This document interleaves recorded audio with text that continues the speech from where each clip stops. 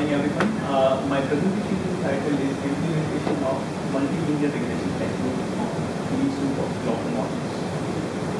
Uh, uh, is one of the widely recognized data models uh, which provides up to two weeks of operational medical uh, prediction forecast for uh, many large-scale variables. Uh, those variables are like rainfall, range, temperature, height, temperature, the TIGGE ensemble forecast data from uh, 10 global vector weather predictions, which are shown here in the uh, green circles. So, uh, all these forecast centers are assembled by the TIGGE, and all these uh, these weather forecasting centers are delivering near real time uh, with a delay of 48 hours ensemble prediction system data to three data archive portals at NCEP, ECMWF, and CM. So this data is uh, available for the real-time uh, purpose and uh, for the study I use this data to uh, use the Amazon The main characteristics of the different ensemble prediction systems uh, are shown here. Here you can see the there are 10 uh, weather, weather 10 ensemble prediction systems which have different resolutions. So to implement uh, multilinear regression technique, uh, it is required to uh, all these global model data to a uh, single grid. Uh, so we interpolate, regrid these data to uh, the observed chill rainfall data to 25 kilometer resolution. Also, out of these 9 to 10 global models, which forecast uh, which have the different forecast range from 10 days to 16 days. Uh, we selected only six global models. Uh, uh, six data centers are selected based on the availability of data and forecast length, which is taken as 10 days at 12Z. So, uh, although it provides many variables, we are working on using only for the rainfall case. This technique is implemented for Indian uh, summer monsoon domain. So this figure shows the minimum local absolute error for the precipitation forecast. So this, this is the day 1 to day 10 forecast for a particular case study. And each model out of six, like uh, these are six models selected, CMA, CPC, like these are, and each model is assigned with a single color. So that this uh, figure shows that at a particular grid point, neither a single model is able to uh, get the best wide range of uh, distribution of the error.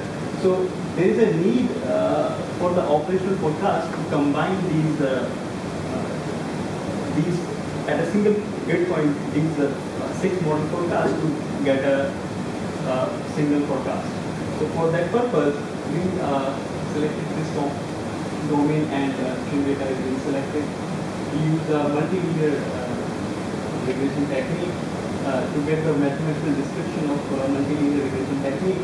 Uh, this is the way all these uh, six models are combined, where AI are the coefficients. Fi is the forecast for all six models. F bar is the timing of the forecast data. So for each point and for like we have 10 day forecast. So for day 1, day 2 and day 10, we are computing the weight set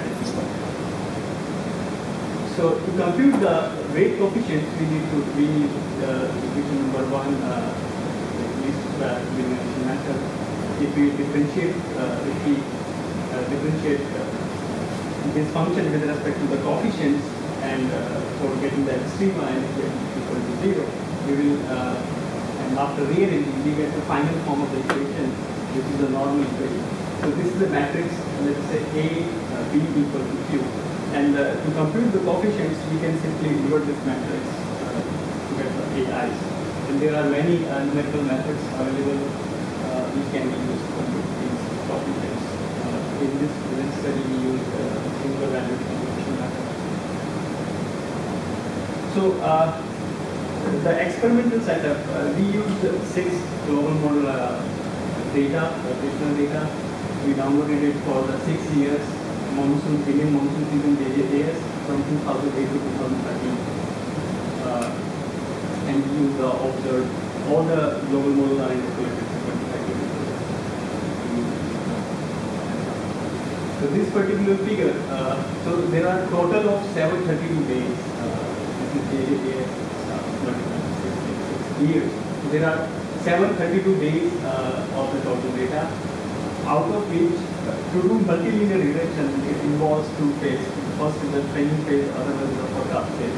During the training phase, we need to do, get the stable uh, coefficients. For that purpose, uh, we check the stability of the coefficient by taking 10 days or 10 cases of and uh, did the uh, coefficients. These are special average coefficients, and it is uh, shown in the figure that uh, these coefficients are getting stabilized after like uh, 530 number of cases. So, for, to be on safe side during the training phase, the coefficients are computed with the 600 case studies. And the parameter is therefore when these coefficients uh, which are computed from the training phase are applied to the forecast phase uh, for the few cases and we got it. So this is the six model operational model available online. Uh, this is the single day one the coefficient computed for day one and uh, supervision for class So this is the TRMM rate for, for the learning. So these type of products uh, we can uh, provide on the real-time basis. This, these results are actually for the real-time which I that time.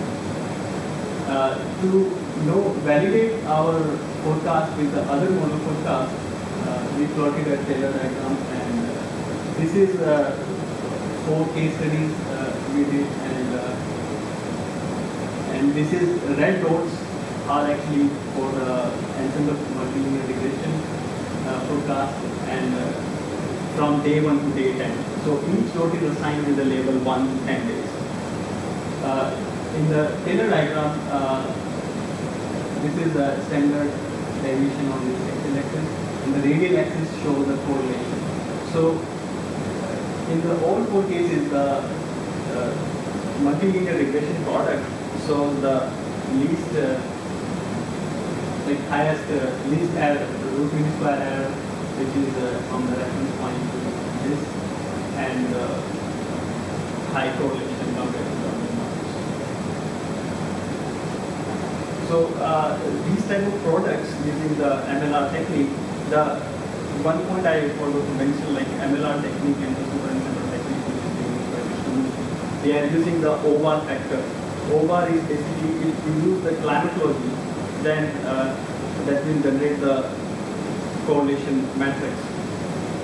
Uh, that will uh, generate the uh, anomaly correlation matrix and compute the weights. But in this case, OVAR uh, is taken as the timing during the uh, training phase. So that becomes same as taking summation of AI and the forecast data.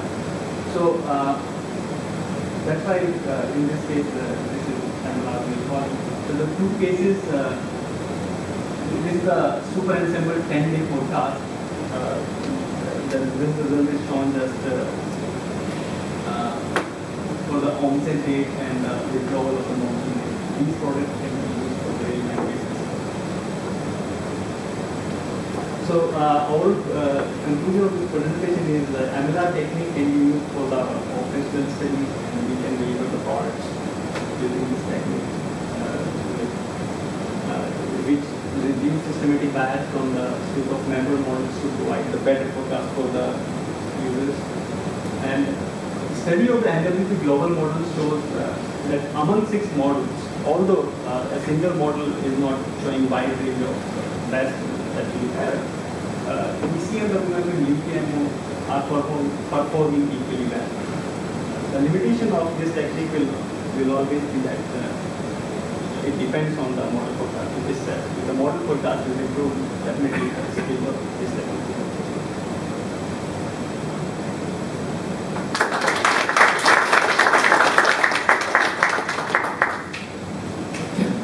How does it, how does it affect the, the other variables?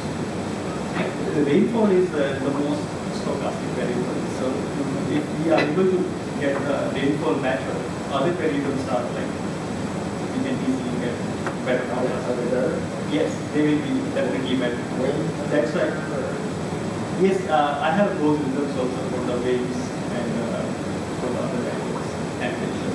Those are the best uh, forecast. For the wind case, wind actually give very high correlation. Mo- Model itself will give very high correlation, but if, if you compare to super ensemble, uh, it it it, it increase. So one of the case studies which I know is uh, if the model is giving 0.8 correlation, super ensemble will go 0.9 correlation. So based on those tests, it's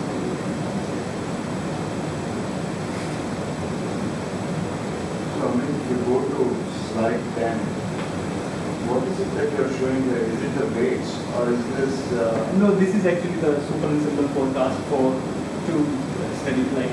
uh, so this is so- rain, absolute value of So, super ensemble, this is the rainfall. So, uh, the super, the forecast will start from this up to ten days.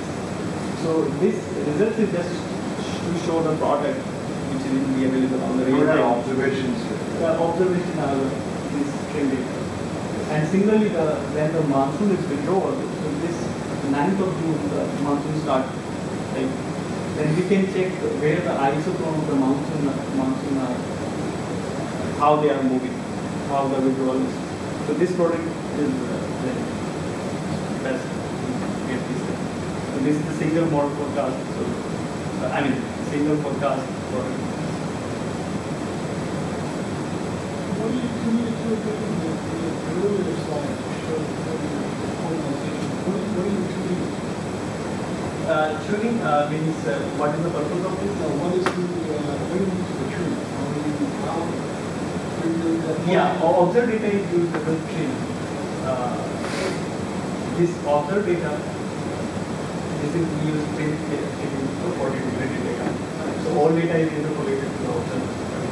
Now, it's all the fixes that are for precipitation, but you have, but use the same, the same polarization program. Correct.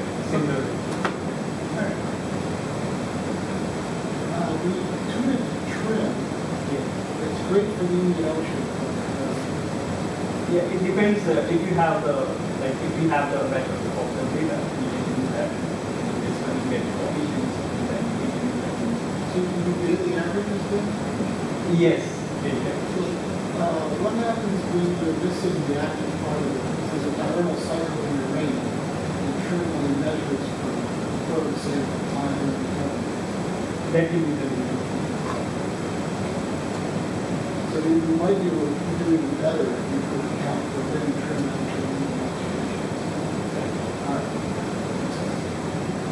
Any other questions?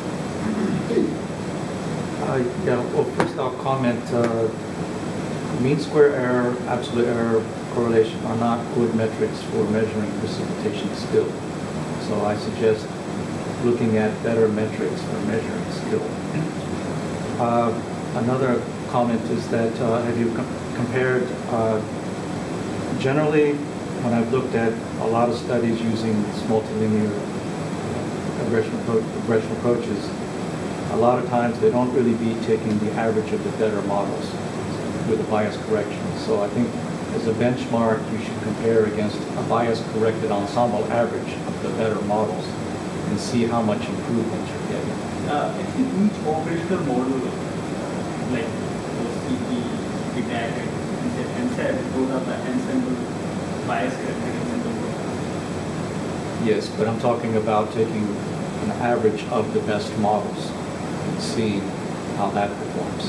Okay, the mean of the, Because you need to show that giving different weights is somehow better than just giving the same weight. Uh, So to show how much improvement you're getting based on preferential weights. So you need to see a comparison to see if this approach is really improved. Any questions,